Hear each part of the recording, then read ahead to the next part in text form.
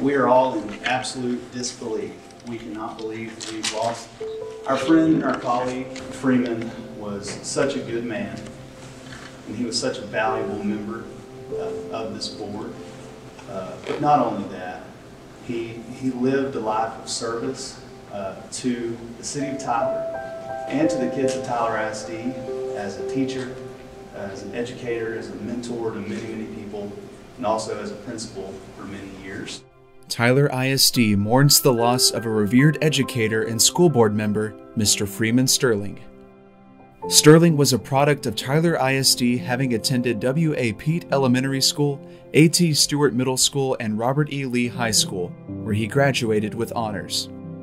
After completing his college education, he returned to the district as an elementary teacher in 1977 at Rice Elementary School.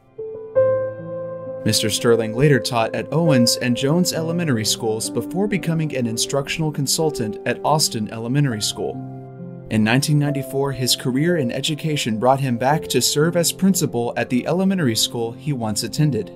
Freeman was a kind, gentle man. He was a, uh, a guy that we all would want to be like.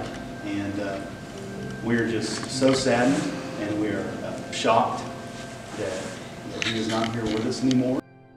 After retirement in June 2012, Mr. Sterling continued his work in education as a mentor to young teachers. In May 2019, Mr. Sterling was elected to serve on the Tyler ISD School Board, where he represented the residents of District 3.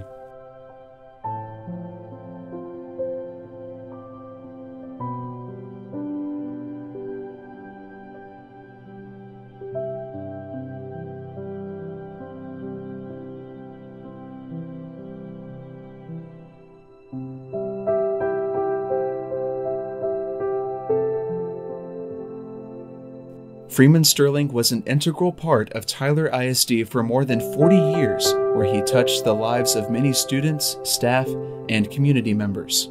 His spirit of service will endure well past his time with us.